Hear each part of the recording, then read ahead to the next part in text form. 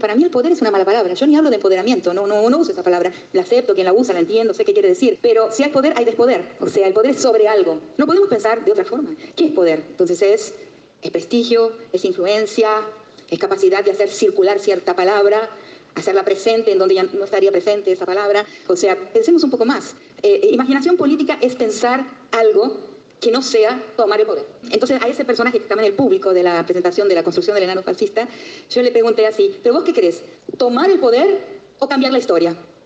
Entonces ahí se dividió el público inclusive, porque yo quiero cambiar la historia, no tomar el poder. Y eso es lo político. Y la política es lo que está en los claustros estatales, en las endogamias partidarias, y la gente lo ve allí. O sea, la gente lo ve allí. Alguna gente se incorpora, pero se va a incorporar también en esos, en esos conflictos por quién va a tener el poder. Yo creo que la imaginación política es pensar por fuera de, ese, de esa ecuación.